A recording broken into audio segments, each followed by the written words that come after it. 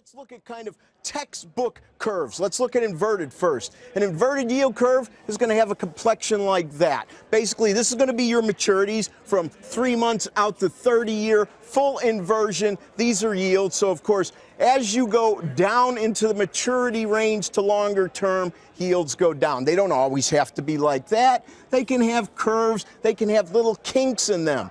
Now, if we want to know what a normal curve is like, it's exactly the opposite. So as you go through time, one year, three year, five year, seven year, 10 year, the maturities, you see the yields go up. So if you had a 30 year, that was around 3%. You could have a two year, that was at 2% normal slope. It doesn't have to be exactly like that. Sometimes it could be curved. Now, speaking of curves, Here's the plot of the yield curve we have now, starting with three months, one year, all the way out to 30 year. Like I said, here's time, here's yields, and here's what our current yield curve looks like. Now, where's the inversion? Well, as you move through time, a normal curve yields should be higher. Look what's going on here. That is not the case. So short maturities are a bit backwardated. And why is, should this be important to viewers? I'll give you a couple of easy reasons. If you have an inverted curve and you're thinking of doing a mortgage, which one do you think you want to pick? Anybody? Anybody? I'll tell you which one not to pick. Don't pick an adjustable rate mortgage. If rates are starting to move, I'm sorry, if rates are starting to move down, you want to use an adjustable rate mortgage. If rates are going up, you don't want to use adjustable rate mortgage. But maybe the most important thing is the alarm clock for the Federal Reserve it's going off potentially. Why? Because the whole point to the inversion of the curve is that many out there suspect traders see it first. You know how we're constantly talking about what's going on with regard to the yield curve and long maturities? Well, they're coming down. As they come down, the Fed's late to the game. So there's your inversion. If the Fed's late to the game, they're going to come in and push this down. And long end already pushed down, so the alarm clock of the Fed pay attention. Mike, what'd you think?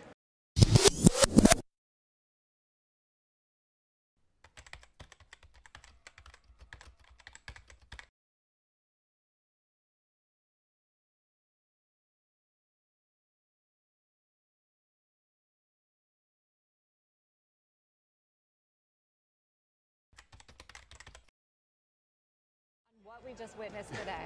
Was brutal. Obviously, brutal. I mean, the markets rushed toward a place to say we have to start handicapping the probabilities of, uh, of a recession in this country.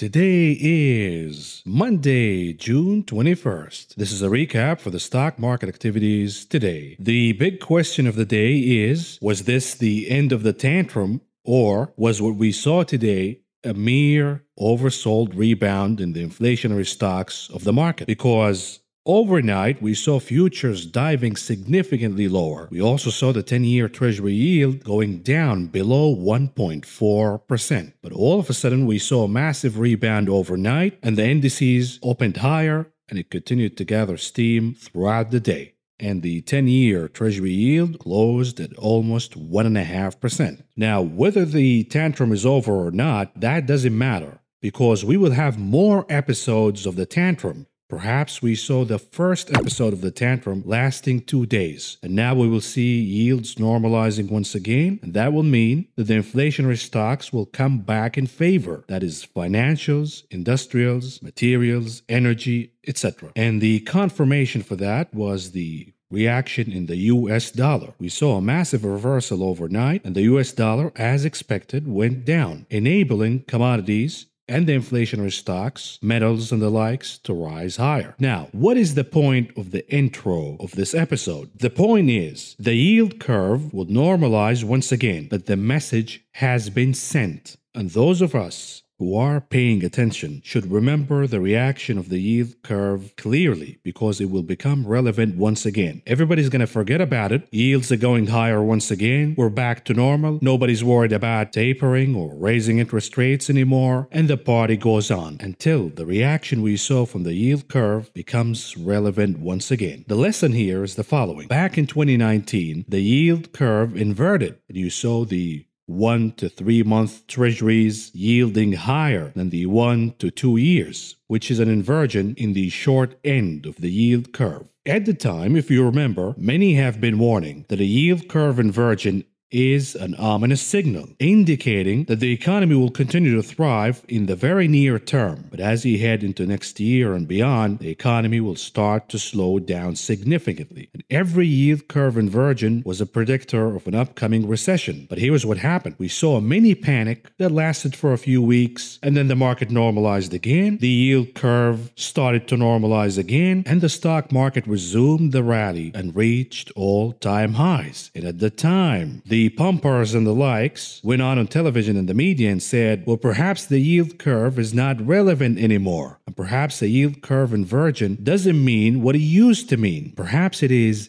different this time around. And we now know that the yield curve, that reaction, was extremely relevant because the very next year we had the COVID 19 crash and the massive economic recession and slowdown that followed thereafter. Now, was the yield curve aware that there was a virus in a Chinese lab that's about to be released around the planet? Oh, wait a minute, maybe I should have not said that. Hey, conspiracy theorist, what are you talking about a Chinese lab? Anyways, was the yield curve predicting or anticipating a virus to be unleashed all over the planet? Of course not. But the yield curve was predicting that the economy is about to slow down significantly in 2020. And perhaps COVID 19 was the spark, the trigger that enabled what was going to happen anyways. And therefore, the reaction we saw last week here in 2020, the first episode of the taper tantrum, will become extremely relevant in the next few months because we will revisit the conversation once again as we get closer to actual tapering, not anticipation of tapering, but actual tapering. And the reaction of the yield curve sent an extremely important message. If the Fed starts to taper, doesn't matter if it's going to happen this year, next year, if the Fed is about to taper and raise interest rates, the economy will slow down significantly. Whether that is predicting stagflation, deflation, doesn't matter. What matters is that the economic growth will slow down significantly once the Fed starts to taper and raise interest rates. Now, the phenomena of stagflation stagflation or lack thereof will depend on how far the Federal Reserve will allow inflation to grow. If the Federal Reserve pushes tapering down the road, then inflation will grow hotter, and perhaps we will hit the slowdown, the same slowdown of economic growth, but this time it will be stagflation.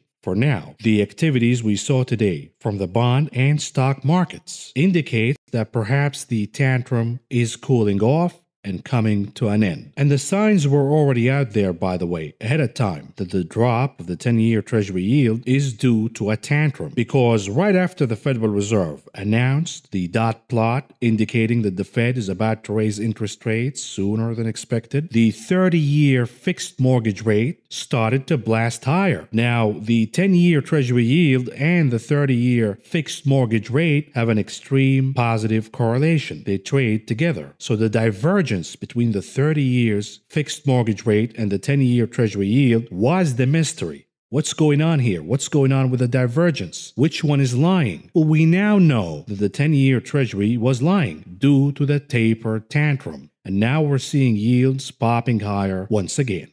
And we have to stick to the facts here in deciding our investment strategy in the month to come. Do we stick with the inflationary trade? Do we move back to the NASDAQ? Do we move to cash altogether? Do we start another investment strategy, perhaps going to bonds? You gotta stick to the facts. Number one, is inflation rising higher or not? At least from the economic indicators that we have so far, inflation continues to rise higher. Whether we're talking about the CPI, whether we're talking about the PPI, whether we're talking about the Philly Manufacturing Index, the Empire Manufacturing Index, the Chicago PMI, the import to export prices, every single indicator pointing that inflation is rising higher, and the Federal Reserve doesn't deny this fact. Furthermore, the housing bubble remains extremely hot. The stampeding continues across the country, and the mania shifts from buying homes to the rental market. Therefore, inflation is not going anywhere. And you might have read the headlines over the weekend that American Airlines is cutting certain flights all the way throughout July, the busiest season in the airlines industry. And the reason is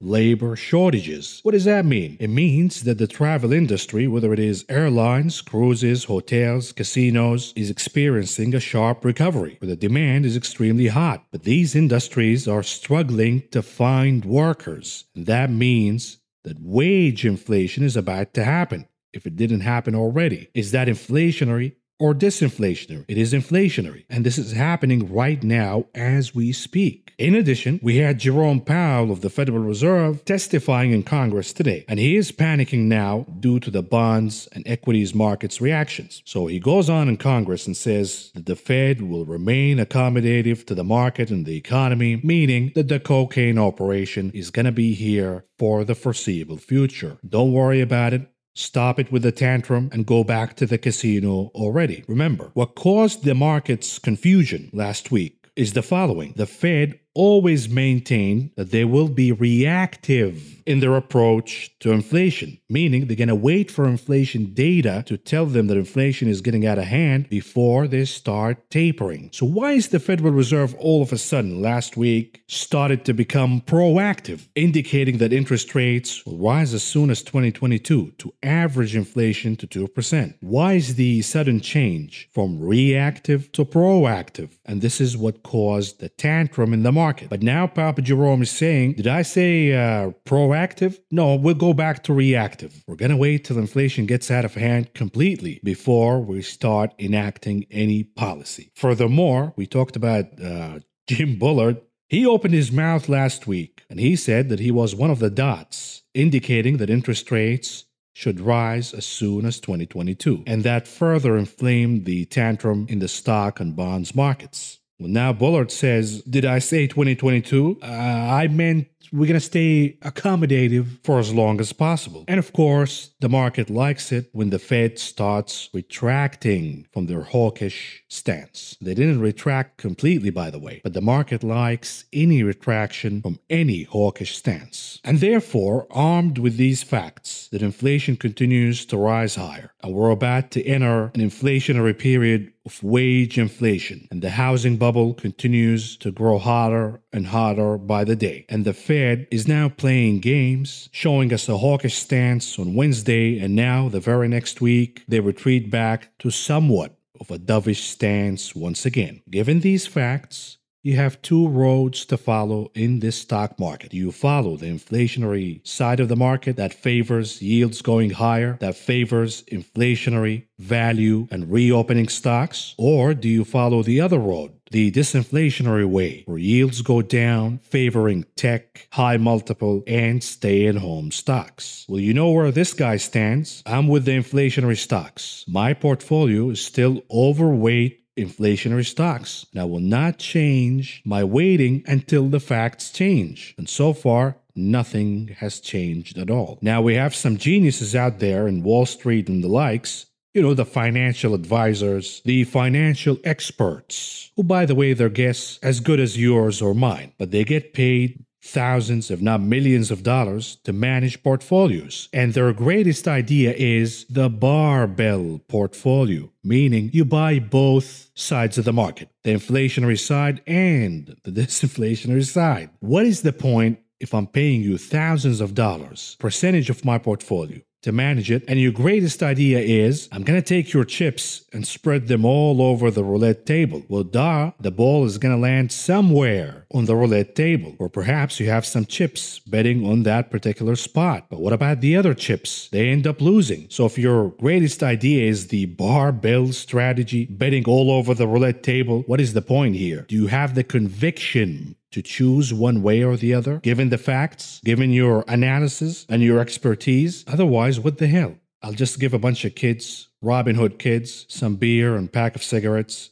and to manage my portfolio better than these experts. I maintain the conviction that the inflationary trade will continue to outperform until and unless the facts change. If we get closer to tapering, we get a little taste of what happens when tapering takes place in the market. We're not going to wait all the way there. The moment we get closer to tapering, the inflationary trade will go out of favor. We get a little taste, a little clue of what will happen when tapering starts. And it certainly wouldn't be good for the entire market, but specifically for these inflationary stocks. Perhaps financials will continue to outperform, but that's pretty much it. We're to stick with the facts, folks, and if they change, we'll adapt. And before we start, here's the other important story of the day the crypto market. Bitcoin is crashing along with other cryptos, and it's not looking good here. I'm watching the chart live, and boy, it's getting extremely dangerous. The level of 30,000 is a must keep for the laser beams. If they fail to keep 30,000, oh boy, the floodgates will be wide open. All of these uh, institutionals that you laser beams keep touting, look at the institutionals, bro. They're adapting Bitcoin. These institutionals are the weakest hands. The moment BTC cracks below 30,000, these quote unquote institutionals will be the first to run and rush the exit door. And of course, cryptos and Bitcoin are crashing because China decided to crack down on Bitcoin. It appears as if China doesn't want Bitcoin at all. It wants to ban mining for the cryptocurrency because they have the digital yuan, and Bitcoin is a competition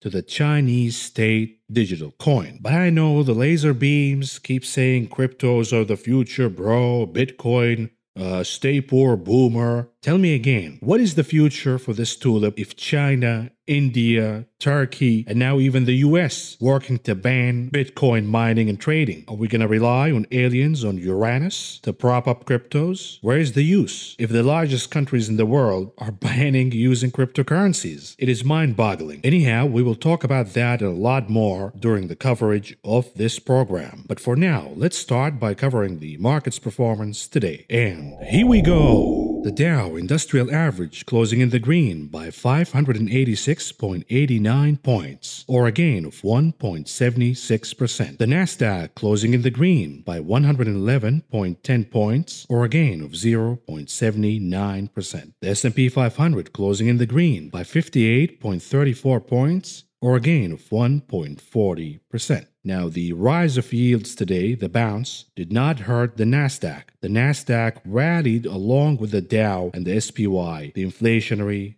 the reopening stocks, the Nasdaq joined the rally for now. But the devil is always in the details. When you look at the details of the Nasdaq, the big cap technology names and the value names within the tech sector led the rally today, not the high multiple mania tech stocks. In addition, the Nasdaq will not start panicking again until yields reach and recapture 1.6% once again. It will be a tough road for yields to capture 1.6% right away. We're going to see multiple stops, perhaps corrections along the way. But if we get to 1.6% again, then we're back to favoring the inflationary stocks and fading the Nasdaq. What about the sector's performance today? Leading the pack at number one and capturing the gold medal, energy. At number two for the silver, materials. And at number three for the bronze, industrials. The inflationary stocks, the inflationary trade is leading the market today. We're not going to shame any sector of the market today because every single sector managed to close in the green. What about the advance to decline ratio?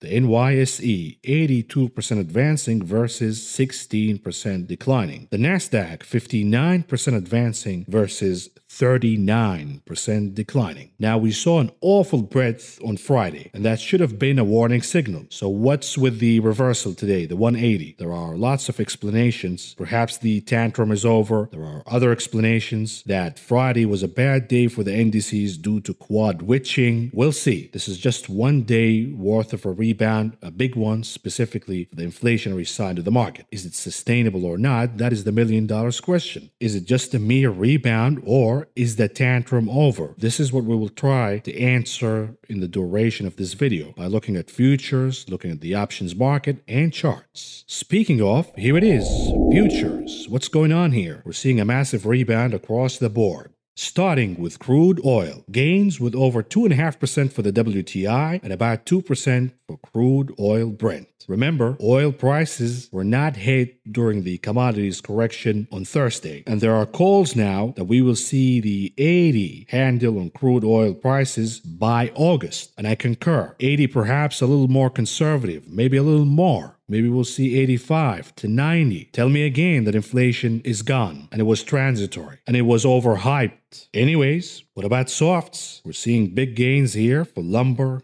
coffee, sugar, OJ, all closing with massive gains of about 2% or more. Meanwhile, cocoa and cotton futures closing at the flat line. And here it is, metals, the US dollar making a 180 overnight, a massive reversal. Perhaps the tantrum is over. And here you go, metals prices rebounding higher. Gold closing with gains of about 1% for the day. And we saw gains for palladium, platinum, and copper. Meanwhile, silver futures, the underperformer today, closing pretty much at the flat line. What about meats? Remember, the big tech, lean hogs, was not touched by the correction at all. We saw a massive correction in lumber corn, copper. But lean hogs was not touched at all. Now we're seeing lean hogs futures entering a mild correction so far. Will it intensify and we see massive losses for lean hogs? I doubt it because you're not going to be able to print 3D hogs. Not going to happen. The demand for hogs is still sky high, at least from China. Now, the Chinese played that cute trick of crashing the commodities market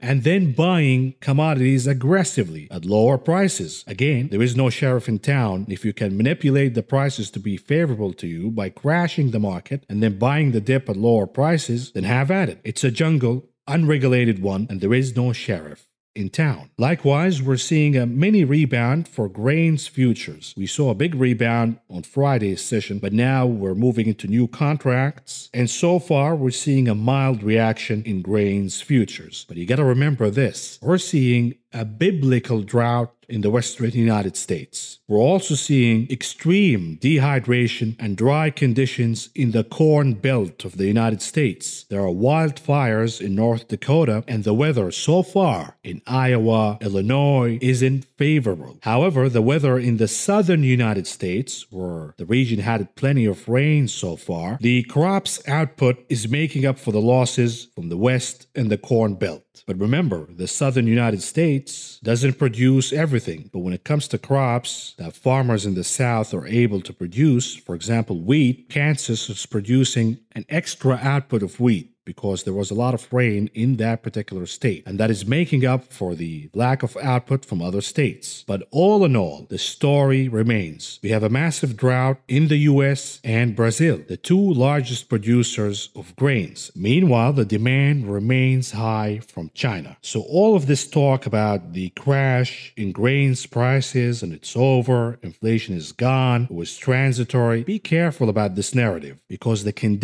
regardless of the monetary policy. The weather, you cannot, the Fed cannot control the weather. I don't know if they can. That would be news to me. Maybe at Jackson Hole in the secret meeting, they have their weather agenda. But absent of that, the weather is not favorable for the supply to meet the demand. And the most critical period, at least for corn and soybeans, is July. The seeding happens in July. And if the weather doesn't improve in the corn belt, we're talking about Iowa, Illinois, Wisconsin, North Dakota. Then we're going to have another year where the supply is short of demand. Therefore, grains futures will remain a hot trade.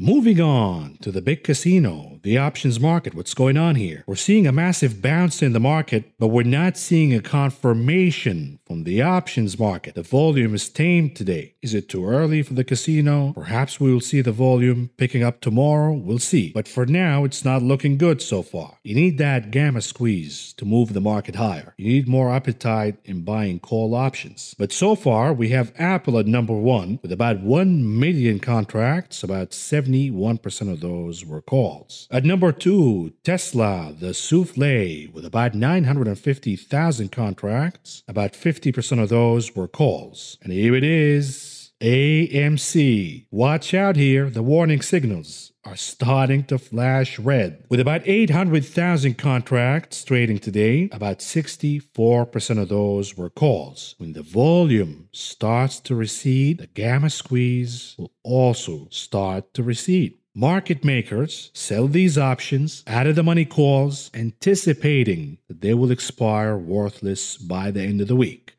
We know that the apes are buying weekly expiration calls. If you don't see a massive appetite in buying call options on Monday and Tuesday, and the stock is now moving higher, then by Wednesday, market makers will decide to dump the stock instead of buying it because they'll realize that the gamma squeeze is coming to an end. The appetite from the retail investors and traders who've been consistently buying the stock in call options is suddenly disappearing. What you want to see is high options volumes, specifically for call options, on Monday and Tuesday, and the stock starts to move higher by the tune of 5 6%. And by Wednesday, market makers make the decision you know what? There is the risk that all of these call options that we sold out of the money are going to be in the money by Friday, and therefore we have to stampede and buy the stock. And that ignites the gamma squeeze, and you see the stock pushing higher impulsively. Absent of that, you will see the reverse situation, a reverse gamma squeeze, where market makers do the opposite. Instead of buying the stock, they start dumping their current holdings. And by the way, perhaps this is an explanation for the weakness in AMC. Take a look at the ticker WISH. This is another meme stock where the Redditors and the likes are migrating to. And if the apes figure out that AMC is boring now. There is no action. It has been consolidating in range for over a week now, but there was a lot of action in Wish that we're moving to Wish. And that is the biggest risk to the apes. It's not about diamond hands or to the moon, bro. It's all about your fellow apes. Are they going to stick to the plan or are they going to jump to another tree with more bananas? In this case, Wish. What about the unusual trades in the options market today, starting with the ticker SPY? For the S&P 500. They're making another bearish bet here, perhaps insurance, by buying the 350 puts expiration date July 23rd, with expectations that the name will drop by over 17% by then. They paid about 50 cents a piece to enter this trade. All in all, bringing the total to about $2 million. And here it is. What about the ticker WISH? W-I-S-H. They're betting for more gains here to come, at least all the way till the end of the week. Pay attention here. This is how gamma squeeze happens. They're buying calls expiring Friday. If they are successful in pushing the stock further to the upside, by Wednesday, market makers will start to panic and they will stampede to buy the stock. In this case, they're buying the 14 and a half calls, expiration date this upcoming Friday, June 25th, with expectations that the name will rise by over 6% by then, and they paid about a buck a piece to enter this trade. All in all, bringing the total to about $1.5 million. What about the ticker FCX? Freeport McMoRan, a classic inflationary stock. It has been a hot stock since last year and the poster boy for the inflationary era of the market. We saw a massive correction of about 20% or so from the highs, and perhaps the stock is bottoming here because they're buying calls, specifically the 38 calls expiring July 2nd, with expectations that the name will rise by the tune of over 6% by then, and they paid about 50 cents apiece to enter this trade. All in all, bringing the total to about half a million dollars. What about the trade for the ticker ETSY, Etsy? They're buying the 185 calls expiration date this upcoming Friday, June 25th. Very interesting trade, by the way. They're expecting Etsy to rise by over 8% by then. They paid about 50 cents a piece to enter this trade. All in all, bringing the total to about $400,000. Continuing with interesting trades, what about the trade for the ticker SHOP, Shopify? They're buying these 1600 calls, and by the way, is this stock about to split or what. Regardless of what you and I think about stock splits, they don't change anything at all. They don't add value at all. But the maniacs out there, the SPAC generation of investors, think that there is added value when the stock splits. We saw that last year with Apple and Tesla, and this year with Nvidia, and perhaps it's coming for Shopify because they're buying the 1600 calls expiration date this upcoming Friday with expectations that the name will rise by over 8% by then. They paid about 6 bucks bucks apiece to enter this trade. All in all, bringing the total to about $3.5 million. What about the trade for the ticker MSFT Microsoft? They're buying the 277.5 calls expiration date July 30th with expectations that the name will rise by over 6% by then. They paid about 2 bucks apiece to enter this trade. All in all, bringing the total to about $1 million. What about the trade for the ticker MOS, Mosaic? This is a classic inflation trade. It's a fertilizer company, and the name has been riding high since the beginning of the year, even before the beginning of the year, since the election of Joe Biden. But recently we saw a massive correction in the name. Perhaps it's overdone here, whether it is an oversold bounce, whether it is a dip worthy of buying, that remains to be seen. But for now, they're using a safe strategy to hop back in the trade for MOS via buying call options. Instead of risking a massive amount of capital buying the dip by buying the stock, why not buy call options? And if the stock moves in the direction you're anticipating, you have the option of buying the stock. In this case, they're buying the 33 and a half calls, expiration date July 9th, with expectations that the name will rise by over 8.5% by then. They paid about 30 cents a piece to enter this trade. All in all, bringing the total to about $160,000. What about the trade for the ticker TSLA? The souffle. They're buying a put here, a big one. The 470 puts expiration date July 2nd, with expectations that the souffle will crash and get cooked to death by the tune of over 25% by then. And they paid about 3 bucks and 35 cents a piece to enter this trade. All in all, bringing the total to about $1.5 million.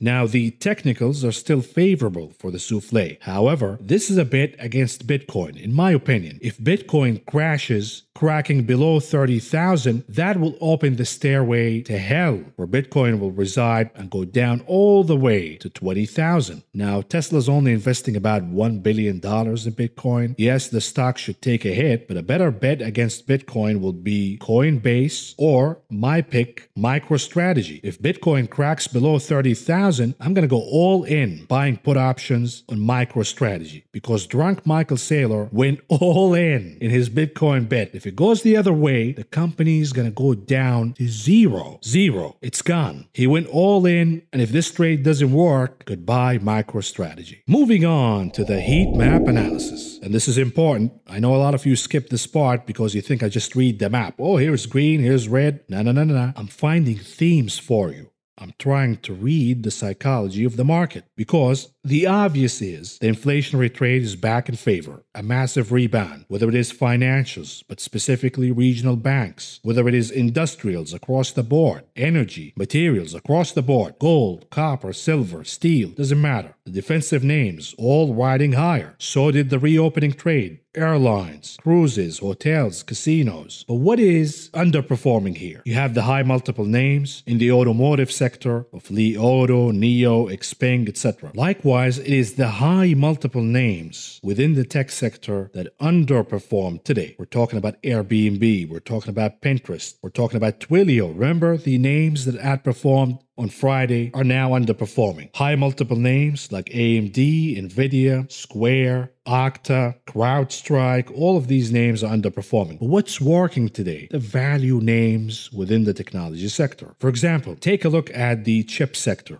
You have value names like Texas, Qualcomm, Intel, AMAT, Lam Research, these are overperforming today. Meanwhile, the high multiple names, AMD and Nvidia, underperforming. You can blame it on cryptos, that's fine, but I see a consistent theme here, not just today, but throughout the last couple of weeks, where we have names like Cisco, IBM, Oracle, Adobe, VMware outperforming. These are the so called old school tech aka value, and these are catching a bid today. In addition to Facebook, Google, and now we have Apple and Microsoft. Now, the big cap technology names, Apple, Microsoft, Facebook, Google, these are going to rally when the market decides to buy the NASDAQ, the triple Qs, or shall we say when the algos start to buy the Qs. The algos had a mini panic today regarding the NASDAQ in the morning because yields started to rise higher sharply, and you saw the NASDAQ going back and forth. Not sure. The algos pump it, dump it, pump it, dump it, and then when yields settled at around 1.5%, or a little below that number, you started to see the NASDAQ catching a bid. So, algorithmic trading has a massive role today in moving the NASDAQ in the same direction as the inflation trade. What about the themes analysis? Starting with the reopening trade. Gains across the board, massive gains, with no exception. Oh, what is that? AMC. Down about 6% or so. This is a meme stock. You know the story.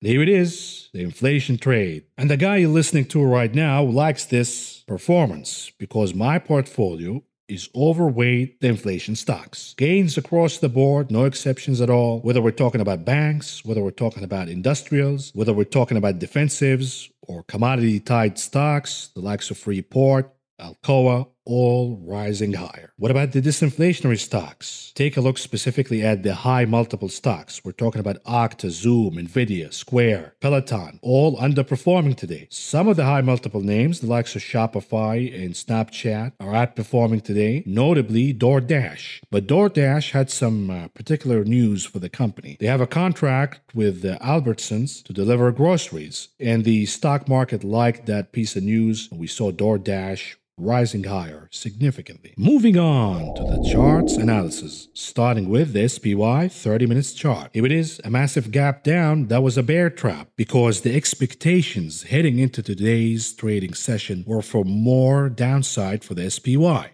We actually saw that in the futures chart. In the overnight session, we saw a massive decline for the SPY, and then we saw the rebound along with yields. For the SPY's chart itself, we saw a massive pop in the morning, recapturing 417.30, and then recapturing the very important level of 420 for support. As if the chart is saying, watch out here, not too fast. This was a tantrum, and the sell off in the inflationary side of the market is not going to last forever. A lot of traders, a lot of investors are interested in buying the dip in these names. They indeed did so today. The next challenge for the SPY will be 422. That will be the prior gap left from Friday. If the chart is able to crack above 422, then we'll go back to the resistance of 423. The expectations now heading into tomorrow's trading session is we have a bull flag consolidation, a mini one, a very small baby one. But that will enable the chart to go all the way to at least 422. We will await the reaction of the SPY at that level. Do we close the gap and reverse down again? Or does the chart closes the gap, consolidates for a little while, gathering energy, and then blasting higher to meet 423? That will be the healthy way, the bullish way. And here it is, daily chart of the continuous contract. As I said before, during the overnight session, we saw more losses for the SPY futures. But once yields started to rebound higher, SPY's futures started to rebound higher. Closed not quite above the resistance level of 4,232, but close enough. That will be the next challenge. When we look at the momentum indicators, the RSI and the MACD indicators, there is some minor technical damage. It could be repaired by tomorrow if we see another rally higher. To me, the chart is not relevant, and the only chart that is relevant is that of the 10 year Treasury yield. If we see Treasury yields rising higher again overnight, all the way recapturing 1.55, that will be very good for the SPY because financials, industrials, the inflationary trade will continue to rise higher. In addition, we're not going to see significant damage to the NASDAQ. If anything, the NASDAQ will continue to rally higher along with the SPY, along with the inflationary trade until we reach 1.6% in the 10 year Treasury. Then the test restarts. Can the NASDAQ hold when yields are trading at 1.6 again or do we revert back to the same story before the Fed's decision on Wednesday, last Wednesday? And here it is the Qs, the NASDAQ 30 minutes chart trading within range. In the beginning, we saw the Nasdaq diving lower, catching the support almost at 340. When the algos realized the 10-year yield is not going to rise above 1.5%, the algos decided, well, that's good enough for the Nasdaq. The Nasdaq can rally higher all the way until 1.6. Until then, let's push the Nasdaq higher, and now it is consolidating underneath the resistance level of 344 and a half. We have a gap. You don't want to see a reversal before closing the gap and before recapturing the very important resistance level of 344.5. Doing so will be an ominous signal, but the expectations for now that the Nasdaq will be able to crack above this level and close the gap. Here's a daily chart for the continuous contract. The momentum indicators remain healthy, remain positive, and the chart is trading above the very important level of 14,000. And this is the beauty, by the way, between contrasting the triple Qs with the current contract of the NASDAQ futures. There are things that you're not going to be able to see in the triple Qs chart, and this is one of them. In the futures contract, the chart is already trading above the last resistance level of 14,000. What does that mean? It means that the sky is the limit. You gotta wait for the chart to decide where is the next resistance level. Moving on to the IWM 30 minutes chart. We talked about the oversold conditions in the IWM, and that should merit a rebound. This is exactly what we saw. The IWM outperforming the Dow, the Nasdaq, the S&P 500, and the reason is while we saw some pain in the meme stocks, we saw the reopening stocks outperforming significantly, and we saw the small cap names in the financials and energy sectors of the market also outperforming significantly and therefore pushing the IWM higher. Now, we have a gap at 227. That was closed today, yet we don't have a definitive conclusion for the action today because the chart decided to close below that number by the end of the day. What you don't want to see is a chart that goes all the way to the gap, closing the gap, and then reversing lower. That is not good. It is too early to say that the IWM is reversing. It did the deed of rebounding and closing the gap gap, and now it should turn 180 back to the downside. Too early to make that conclusion. For all we know, the chart is consolidating, building and gathering energy to resume the rebound higher above 227. And I say that because looking at the RSI indicator, there is still a lot of room for the IWM to run. It could go all the way to 230 before catching some resistance. You wake up in the morning and you see a reversal and the IWM is trading below 226. Then you know that the IWM will go all the way down to the support level of 223 and perhaps close the gap below that level.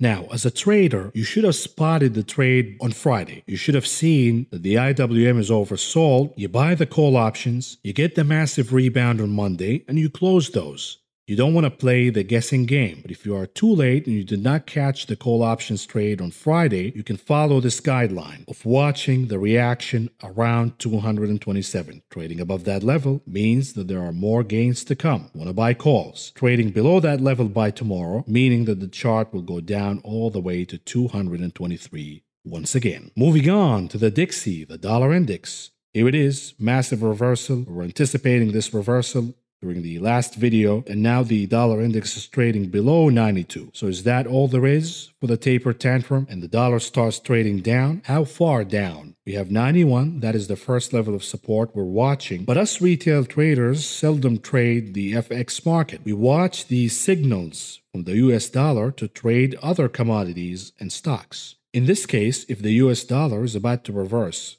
going all the way down to 91, that will be good for gold, metals, commodities, and perhaps the commodities related stocks, steel, aluminum, etc. Speaking of, here it is Gold, what's going on here? It talked about buying call options on Friday for the GLD, and that is paying off right now. Gold is bouncing back from the Fibonacci level around 1760. It is way oversold, and the US dollar is reversing downward. For now, these are good conditions for gold. But you gotta be careful here because gold has two enemies the US dollar and yields. If yields continue to pop higher, then gold will push and slam the brakes once again. Watch the top of this candle around 1812. That should be an important level of resistance for gold. I will exit the GLD trade if gold trades all the way to that level because I am expecting resistance at this level. Specifically, if yields continue to rise higher, for me, that will be a warning signal that I should exit and take my profits in the GLD trade. And here it is, the chart of the day, the 10 year Treasury yield.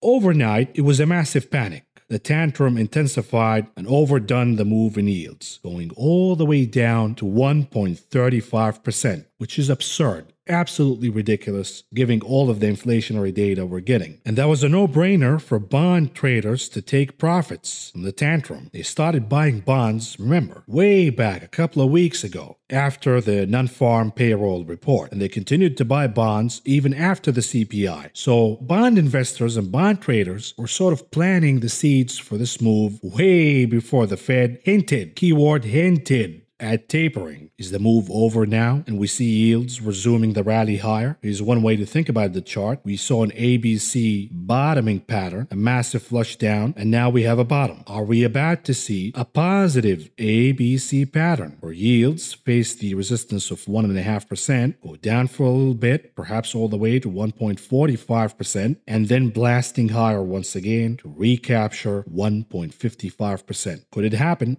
Certainly possible. What about bond prices? The TLT weekly chart. Again, reversing before closing the gap and before reaching 1.49. Excuse me, 149. This is the TLT. Too early to say one way or the other. This is just one day worth of activities. This is a weekly chart. But if we violate 140, which is the bottom of the previous candle, that will be an indicator that the move in bonds is pretty much over, the bounce is over, and we will start to see yields popping higher again. Perhaps the TLT will go down all the way, perhaps making another higher low, and that will keep the hope alive for bond bulls. But if the chart goes down, making a lower low, and most importantly, violating 134 and a half, then bond bulls should run to the hill. For now, everything is stable. But take a look at the RSI, curling slightly downward. Too early, but these are the signs we watch for. What about the VIX? Two hours chart. We talked about the 20 level, the very important level of 20. The SPY popping higher, the VIX, no brainer, it goes down. But the VIX was actually trading significantly higher, going all the way to the level of 22. It was riding higher by the tune of over 10% in the morning, as we saw pain inflicted all over the futures market.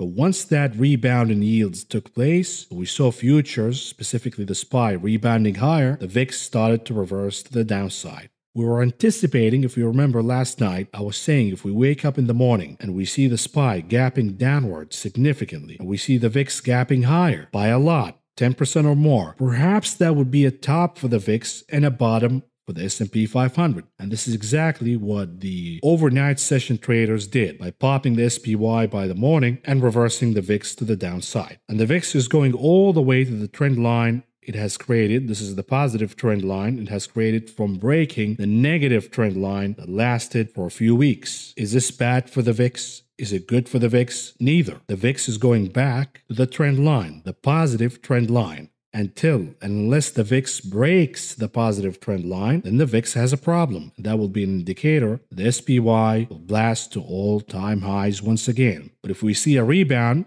for example, the VIX reaches the trend line, rebounding higher, and watch out, you thought Friday was a bull a bear trap, perhaps today was a bull trap. And here comes the roller coaster ride once again. It's a fun market, isn't it? And here it is, the big kahuna, Apple 30 minutes chart, reclaiming 131 for support. The chart did not look bad to begin with, it was consolidating below 131 by a little bit, and today it managed to recapture 131 for support once again. Is this bearish or bullish behavior? This is bullish behavior. And the next resistance line for Apple is 135. And now we're seeing Apple reclaiming its leadership in the volume of the options market. And if we continue to see more call options buying in Apple, then perhaps that will enable the stock to reach the next resistance level of 135. And remember, as Apple goes, so will the NASDAQ.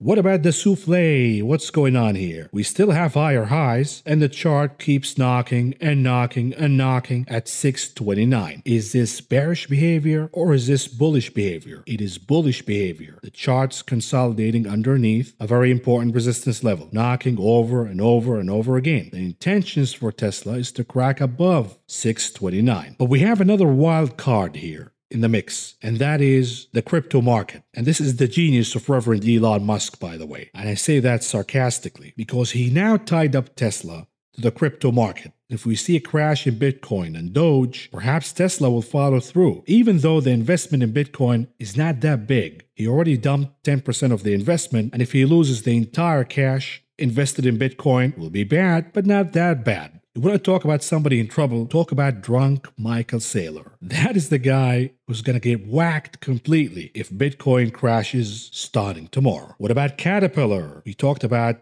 two trades, two potential trades for the week. Do you buy call options on the souffle or do you buy call options in Caterpillar? Well, if you bought call options in Caterpillar, on Caterpillar rather, last Friday, you scored big today because Caterpillar gapped higher in the morning, closing slightly below the highs, but the name remains oversold. And if you bought call options, it is the rational trade, expecting more gains for Caterpillar. But watch out for the top of the big red candle. That will be a resistance for now. Now, the chart could go down tomorrow, closing the gap. If that happens, watch for the behavior around the gap, which coincides with the Fibonacci level. If the chart manages to close the gap, rebounding higher, that will be an opportunity for those of us who missed on the trade, who did not buy call options on Friday, to hop on the ride and buy call options for Caterpillar. You want to watch how the chart closes the gap and react from that point on. Closing the gap, rebounding higher, that is a positive signal that the rebound is not over yet and you should hop in and buy call options. Now, the souffle is not looking bad either, but there is the risk of the association with Bitcoin, so watch out for that. And here is a weekly chart for Caterpillar. The daily chart is extremely oversold, meriting an oversold bounce, an oversold rally. Usually, the oversold rally doesn't just last for one day. It lasts for a few days, perhaps weeks. But looking at the weekly chart, there is more room for pain here. Yes, the sell off was extreme, overdone, but look at what the chart did. Since the bottom last year, it has been a straight line to the upside. The MACD indicator has been trading in positive territory since last year. This is extreme. This is a weekly chart, and we should see a reversion to the mean in the MACD indicator. If that is the case, then from the long term perspective, the weekly chart, Caterpillar could go down all the way to the next Fibonacci retracement level, around 185. Would that be bad? Would that be the end of the inflationary trade? Would that be the end of Caterpillar? Absolutely not. Remember, the fiscal spending, which is going to be on steroids, by the way, hasn't even started. So we remain bullish on Caterpillar. We're going to trade the bounce from a daily chart perspective via call options. And when the bounce is done, we're going to take those profits because the chart could reverse again and play the weekly chart perspective, which indicates that there is more room for pain here. What about AMC? What's going on here? 30 minutes chart. We talked about the Twin Peaks last time around, and so far that top is sticking. Sticking, not ticking. Sticking. And now we have another Twin Peaks and the apes get mad every time I say Twin Peaks. Like, yeah, charts don't matter, bro. It's all about diamond hands and to the moon, hoodle, hodl, whatever it is. It's not my problem. I'm just explaining to you the technicals and the mechanics of the options market. If you don't want to listen, that's your problem. For now, not a lot of damage happened. But the apes, go talk to your other baboons and chimps to start buying call options aggressively by tomorrow. Because if you fail to do so, then that will pave the way for a reverse gamma squeeze. And I've already explained to you what a reverse gamma squeeze is during the options market coverage. And by the way, we have a lot of gaps here to fill for AMC. There was one at the 50, there was another one at 32, and then we have 26. But we're taking one day at a time here. We have support, an excellent support at around 50. So let's say that gap is filled. Watch out for the reaction of the stock. If it doesn't hold, then that will send an ominous signal that perhaps the stock will go down all the way to 32. But again, the key for success here is buying call options. And here it is, the tulip market. What a beating. Bitcoin BTC. The laser beams got excited for about three seconds. We're going back to 42,000, bro. It's over. Eat your words. And now, unfortunately, they're quiet once again. I feel bad for them, but again, remember their arrogance. They're an arrogant group of people. When Bitcoin was rising higher impulsively, the laser beams, the US dollar is dead, uh, you don't understand, bro, stay poor, boomer. And now what happened? What is the intrinsic value of Bitcoin? What is the fundamental analysis? You're only relying on one man's tweets. That is Reverend Elon Musk. And he's not into it anymore. We have the Chinese cracking down, the Indians cracking down, the Turks are cracking down, the Americans are cracking down, the Martians are cracking down. Anyhow, 30,000, this is the level we're watching. Grab your popcorn and watch this chart all night long. If it cracks below 30,000, those laser beams will change into the deer in the headlights look So watch out. Lastly, here is a chart I showed you a few weeks ago of the XME, the materials ETF, and this is a monthly chart. This chart has been on a declining trend since the financial crisis, and this declining trend was broken as the inflation trade started to become the darling of the market. This is a change that is not transitory. Yes, it was an extreme pop higher, the move that is. It's gonna have to slam the brakes at some point. Take a look at the RSI indicator. This is the monthly RSI. It became overbought, it became overextended. It is time for the XME to take a break. But for those who keep saying to me that inflation is over, it was transitory, it's time to go back to the NASDAQ, you don't understand, bro. No, you don't understand because this is a change that is happening for the first time in 10 years. We're seeing these lagging sectors of the market the XME, the XLF, the XLE, the energy ETF finally outperforming the technology and consumer cyclicals, these sectors of the market that have been outperforming for over 10 years now. This is a change and shift in regime and you have to be aware and awake to realize it. Moving on to the conclusion of this video, what do we have on the economic calendar tomorrow? We have existing home sales, and that's pretty much it. Absent of more data, we're expecting the market to continue to bounce higher. Now, existing home sales, the expectations are that the inventory will be tight. So we'll be watching the reaction of home builders, the likes of Lennar, DR Horton, etc. But for the entirety of the market, there are no obstacles so far. We're past the Fed decision, and the market reverses the tantrum on Monday and perhaps a continuation of the rally tomorrow. And then we start to get into the juicier part of the week. Because Wednesday we have the manufacturing and services PMI, and that will be an indicator, an important one for inflation. What is the headline number? And what about prices? If we continue to see this contrast of headline numbers diving lower and prices maintaining their elevated levels, and the argument for stagflation is going to start to gather steam. Anyways, that's all I got for you tonight, and I will talk to you again tomorrow. If you found the information presented in this video helpful, please subscribe, press the like button, the notification button, and follow me on social media.